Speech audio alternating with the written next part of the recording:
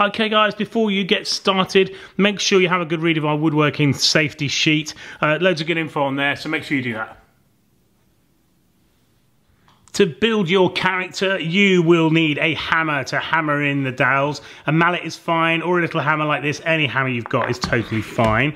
Um, a pair of pliers like these are also handy for working with wires because you can cut little bits off like that, or you can use it to bend it, or even push the wires in if there's a hole on your character. So that's that.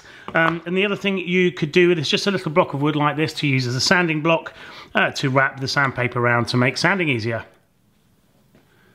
We include these fantastic glue dots in all of our packs and these are great for sticking on nuts and bolts and hair and all that kind of stuff to the characters. But of course other glues are available. You could use a glue gun or some craft PVA or proper wood glue um, or if an adult's doing it then super glue as well. Any of those will do. And finally, if you want to add colour to your character, we can highly recommend these little Brine paint sticks. They're fab. Uh, acrylic paints are brilliant too. Or of course, you can just use some Sharpies as well. So if you need any of these things, pause the video now and go and get them. Okay, so what's in the box? If you lay everything out in front of you, you will find your accessories pack, you've got your make it instructions here, you've got your sandpaper, and you've got your glue dots. Then the queen kit is the head, the body, the two arms, uh, the feet components here, the little handbag, and then we've got the longer dowels for the head and the shorter dowels is for the arms. Finally, we've got our beautiful crown, and then over on this side, this is all your corgi components. So we've got the head, the body, the four legs, um, some buttons for his uh, uh for his nose and eyes, uh, the dowels that you need, the tail, the face part, and the two ears. So make sure you've got all those components before you start. So next step, we're going to cover sanding. Well, why do we sand? Well, you can see these blocks here have uh, little bits of kind of splinters, I suppose, hanging over the edge. And first of all, we want to take those off so we don't give ourselves any splinters. Um, secondly, we want to make it look nice. And, and the, the, more you sand it, the smoother it gets and the nicer it looks. Um, finally, uh, this sharp edge here, where it's been cut with a saw, this edge here is called the arris. And we want to take the arris off because that stops the wood from being split accidentally by knocking it or something like that. So when it comes to sanding, there's lots of different ways that you can do it. But one of the easiest ways is just to put the sandpaper on your bench in front of you and rub the block on that to get it nice and smooth, like so. Another way you can do it is just by holding the sandpaper in your hand and doing this. Um, but a good thing is if you have got a sanding block to hand, then use this, wrap it around the block like so, so it's nice and tight and then you've got something good to sand against and then you can go ahead and sand your character. So the next thing to note is that uh, the lines running down your piece of wood, they're called the grain. And if we sand across the grain like this, um, we can actually put tiny scratches all the way across and you'll be able to see those. Um, so as a general rule, we like to sand with the grain. So that means with the lines like this. Um, on the end of the piece of wood, that's called the end grain, you can see it's kind of at a diagonal, so that's how we'll need to sand it, at a diagonal, like this, okay? Okay, that covers sanding. So before you start your project, you want to make sure everything is fully sanded, including the dowels, even little splinters on the end of the dowels, just really gently take the edge of those off so they're nice and ready to go as well. Once you've got all of your components sanded, we'll see you on the next step. Okay then, so let's get building our queen kit. So you can see we've got all the components out in front of us here, but I'm going to start uh, with sticking on her dress components here. Now you see these go on like this so that they're flat at the bottom. You don't want to get them the wrong way around so that they're like that. Oh, so that they are like that, I should say. Okay, so you want it this way around. So I'm just going to do that with some glue dots. So we just tear off one of the glue dots like this, take a couple off and then peel back the paper like so. And then I'm going to stick it on the side like this. And that's one on there. Now you can use two of these if you want to. You don't it doesn't have to be one. Um, but I'm just going to use one for this so okay. Pop it on there give it a push. And there you go that's the side of her dress on. Now we'll do the other side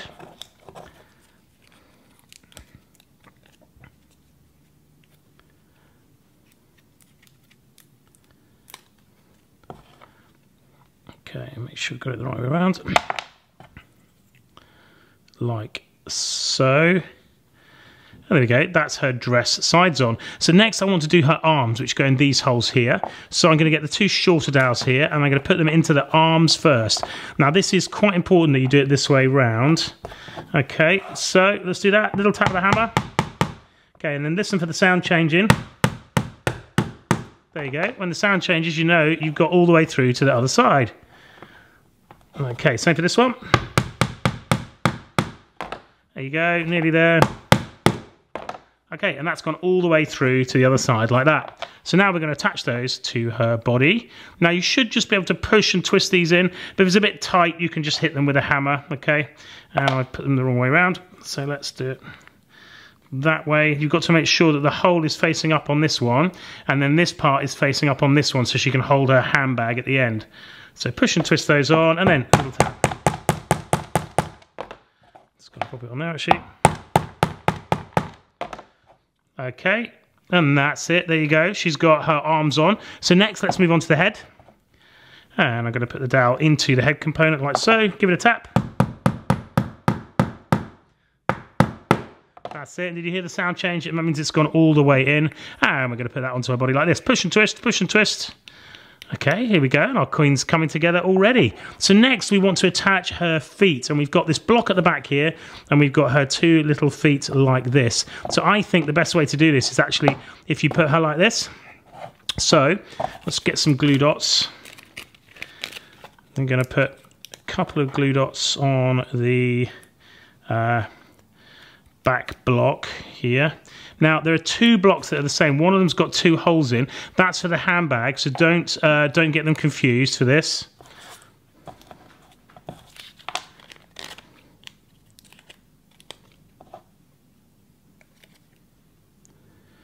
Push those on, peel it back like so. Now we want to put that all the way to the back of her body like this, okay? And then just push it down like that. Okay, so that's that stuck on. Now we need to stick her feet on, or our shoes. So I need another couple of glue dots for that.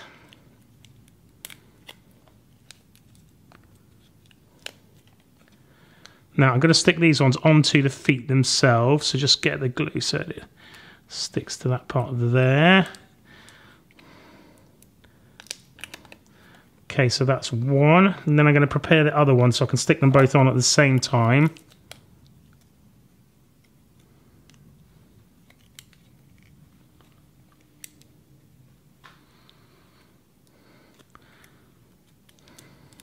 Okay, there we go. That's two feet stuck on there. So let's just line that up with that. Want them to be nice and in the middle.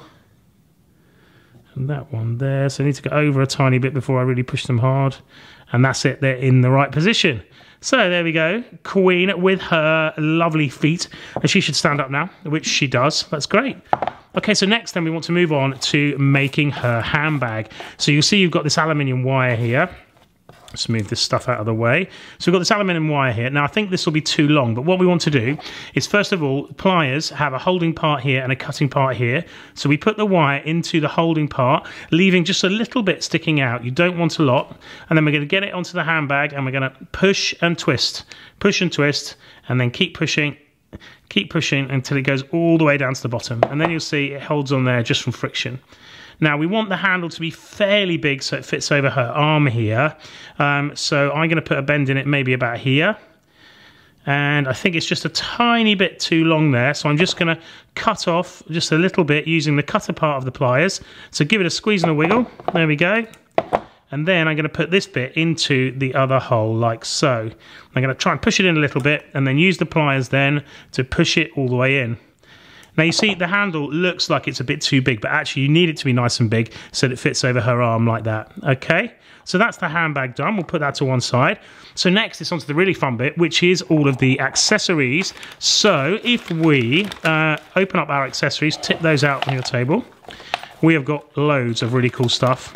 Now things can get stuck in the bottom of these bags, so just make sure that you tip them all out properly. Okay, I'm going to sort this out and be right back. Okay, then I've sorted out my accessories here. So I've got all the hair curls here. I've got all sorts of different things you can use for eyes. We've got the Queen glasses. These are 3D printed right here in the workshop, and sometimes they have little stringy bits. If they do, you could just pick them off or even get a craft knife and just uh, uh, cut them off if you need to. Uh, we've got the thingy for the corgi as well, and then we've got the flag there. So let's move on. So first of all, then I'm going to stick her glasses on, okay? And we want to get those kind of around about this position here. So we need to get some glue dots um, and put those in the right position. Now, the great thing about glue dots is you can stick them as we've already shown, um, but you can also, if you're careful with them, look, you can peel them off like this and they're kind of stretchy. And then I can put them on the back of her glasses here and make them just a little bit thinner. Now, this is tricky to do, okay, but you will see now you can hardly see the glue dots behind it. So I'm to put that on there like that and then give it a push down. There we go, and that's her glasses in position. Are they a bit wonky? No, they're okay. Now I'm to use these two little polymer beads I've got here for her eyes because I like that. Um, but don't forget you can use anything you've got here, um, whichever you prefer. Okay then, so I'm going to do the same thing with this. I'm actually going to peel off the glue dot like this, and then I'm going to just rip it in half, and then I'm going to use a little bit for the back of this eye here, and stick that in position. Now I think that's going to look good kind of about there. Of course, if you find this too fiddly with the glue dots, you can always use PVA or even super glue, anything like that would be fine, or a glue gun. Okay, and then I'm going to put this eye on here. Now I think that's about right. She looks a little bit googly, but I kind of like her like that, so I'm going to leave it. Okay, fab. And then I want to make a little smile. So I can use these wires here. So what colour smile should I go for? Black or gold? I think gold's a bit more regal. I'm going to go for gold. So the best way to make a smile, I think, is if you use your uh, two thumbs like this, and we're going to bend the wire to get a nice tight little smile. I want a small smile. And then we've got a nice little curve here. And then I'm going to use the cutter parts of my pliers. You can use a pair of scissors for this, by the way, if you don't have pliers. Squeeze and wiggle. And then cut the other side off. Squeeze and wiggle. And there we go. Look, I've got a nice little smile. So guess what? We're going to need another glue dot. I'm going to put one of those on here. And again, I'm going to stretch this one out. I'm going to peel it off at the back like this. And then I'm going to try and stretch it and put it across the whole thing. So try and do it a bit like this. Again, it's pretty tricky, this part, but there you go. That should do it. And then I'm going to put her smile into position. Oh, she's a very, very happy queen. Well, she would be on her Jubilee, wouldn't she? Hey? Okay, there we go. So she's got a smile on. Now next I want to add like a little brooch, I think, because I think the Queen always wears a brooch. And I've got the perfect accessory just here for that. So for this one, I am going to move her arms down. I'm going to put it right onto her chest here, where she might wear a brooch. Push that on like that. Peel it away. And then put this thing on here. There we go. Oh, doesn't she look pretty? now, of course, you could use any of the other things you've got here, maybe even a gold star. You could put buttons down her front, however you want to do it. So you just uh, go to town with it. So the next part now is to put her crown in position. So I'm going to turn her this way up. Now, I better just check our camera is focused properly. So I'm just going to have a quick go at this. Okay, hopefully be focused around here. So now what I think we should do here is put the crown on first. Now be very careful with this crown because they do break easily, okay? So try not to drop them or anything like that. So I'm going to put it in this position here. So I just want some glue dots in and around there. So I'm basically going to put glue dots all over Queenie's head and down the side so we can stick on all these curls for her hair. So I'm going to get a good few glue dots here. Um, and I will do this at speed and come back to you in a second.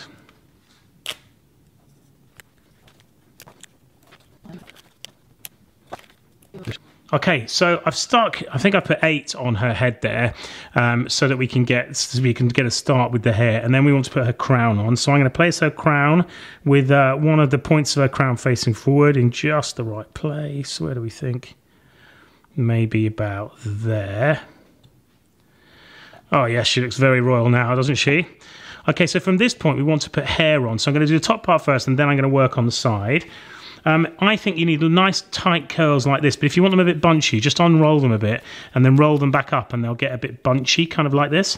And then I'm going to put one of them in here, like so, and just push that down. And then I'm going to get another one, maybe a slightly bigger one. I'm going to pop that in there. Hopefully that will fit for me.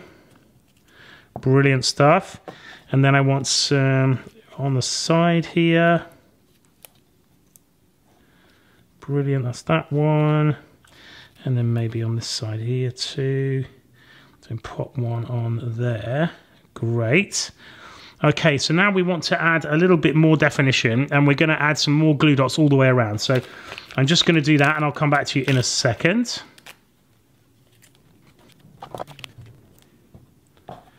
Okay, so I put some on the side here. Now I'm going to add some more hair to our queenie here. Okay, fab. That's that side. She's looking great already. Now I'm going to do the other side. Okay then, so how is she looking? She's looking very queeny now, isn't she? Uh, I think we need a couple more curls over the top here to finish her off. So if you want to do that, then I think you get your glue dot and put it onto the hair curl itself, and then you can stick it where you want it. So if we go for maybe a curly one like this, I'm just going to put it on that part there. And it's pretty tricky doing this, but make sure it's on there and then just peel it away gently. Okay, and then I can stick that there in the middle.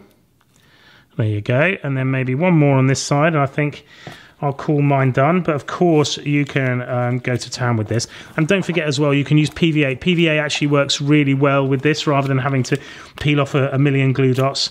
Uh, if you just put a little bit on, it'll um, it, it will set really quickly and then you'll be able to get the job done nice and quick. Okay,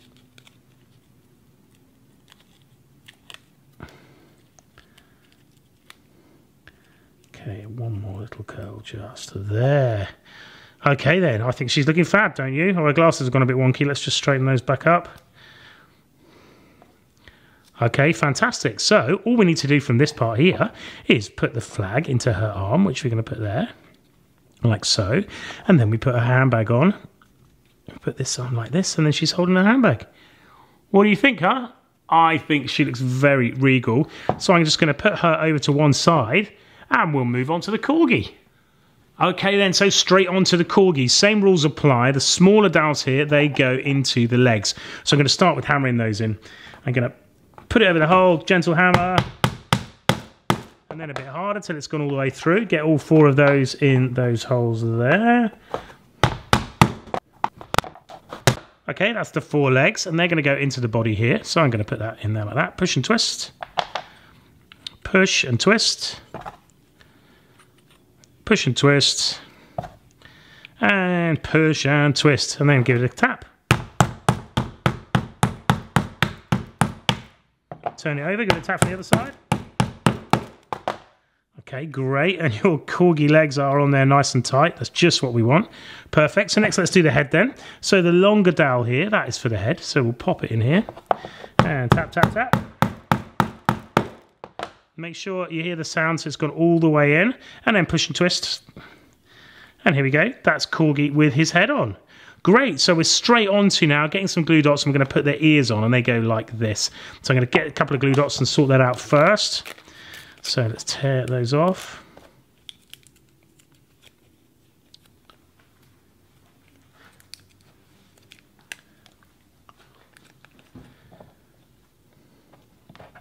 Okay, so we're going to put the glue dot over his ear there, fold it over so it goes halfway over either side. Okay, and then peel it back. And hopefully you can see that it goes all the way over. And then you'll see, look, we can put his ear on just like that. And that's one of his ears. Okay, then we will um, get another glue dot like this. Put it on the other side. And again, half and half over like so. And then try and peel that off without pulling it off again. Okay, fab, and that's his other ear. So let's get that on there like so. And there we go, that's our corgi ears in place. So next we need to add a face of our corgi like this, don't we? So we're going to put this just about here. So again, another glue dot. You can use one or two for this, whichever you prefer.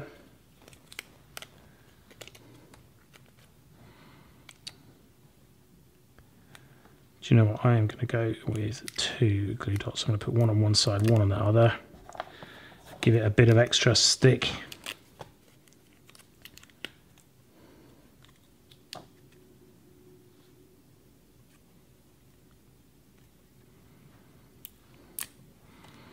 Okay, so I just want to go up a tiny bit from the bottom and try and get it equal in the middle, side to side. And there we go, that's his little nose on there, okay? So from here then, we want to stick a button on for his nose. I've got all these buttons I can choose from. You could choose one like this if you wanted to. You could choose a little black button like that. Um, but I'm going to go with this little black button. So let's stick that in position with another little glue dot and I'm going to peel this one off because it's slightly bigger than the button itself and then that way I can just place it on the back hopefully you can see that there okay and if you've got a little bit of excess you can actually just snap it off and get rid of it put it out of the way okay then so let's put that in position there get it nice and central if you've got any excess sticking out like I have just pick it off and pull it away Okay, there we go. That's his nose done. So next then we're going to move on to his eyes. Again, you can use any of this stuff for his eyes, but I'm going to go for these little tiny blocks here. Now, a little tip here, uh, the, cl the closer the eyes are together, the kind of cuter he looks, okay? So, let's go, I think about there, don't you? Yeah, let's go there, okay. So, same trick as before, peel the glue dot off put it onto the back like so and then if you've got any excess just rip it off and stick that in position same on the other eye I'm going to use the other half of the same glue dot. Great. And put that in position like that. Yeah I think he looks pretty cute. Now push them down nice and hard and then it gets them flat against a piece of wood. Make sure they're lined up and brilliant, that is our corgi there. So what we need to do now then is we need to put a tail on him. Okay, and you'll see he's got a hole here. And what we're going to do is just slide this tail in. So I suggest you slide the tail in like so. Slide it all the way in and then bend it down and then cut it off to the right length. Now corgis have nice short tails, don't they? So let's just cut it maybe about here using our wire cutters. Again, you could use um, you could use scissors for this if you wanted to. So there we go, that's his little tail in position. And next we want to do his collar. So uh, we've got this excellent pipe cleaner here. We're going to slide that through his collar, which says ER on it. Elizabeth Reigns. Okay, and we're going to wrap that around like this. So make sure that we've got enough um, uh, that you can make sure you've done this fold at the front here because otherwise it will sit twisted. So I've kind of pushed the wire all the way around before I attach it. Now then I'm just going to pull the corgi's head back a little bit and that's going to allow me to get this around the back here, okay? So you can either tie it together first or you can do it when it's on the corgi like so. Pull it up a little bit, give it a little twist, okay? And then I'm just going to pull it forward a tiny bit and fold it down the front. Hopefully you can see that there fold it down the front, and then you can cut off these excess wires at the back here, like so. so I'm just going to pull his head off completely because that's going to make life a bit easier for me. Give it a cut like this, and here we go, that's his collar there. Put it back over the dowel here, and put the head back on, push and twist to get it down in position, and then we're going to pull that down so it sits down at the front like this. And there we go, one corgi. Now, if you want to, you can add little bits inside his ears. You can color him. You can do all sorts of things, whatever you want to do. You've got all these ex extra accessories here you can stick on too. But that is our Corgi kit. And add him to the Queen kit as well. And look, we've got an absolutely awesome Queen and Corgi kit. She's still got wonky glasses though. We've got to straighten that out, haven't we? Okay, that's it. Absolutely fantastic. I hope you have great fun and take care. Bye bye.